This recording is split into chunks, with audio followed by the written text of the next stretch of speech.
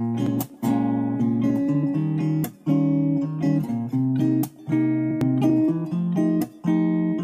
name, my age, my favorite color, my height, my sign. Do I have a lover?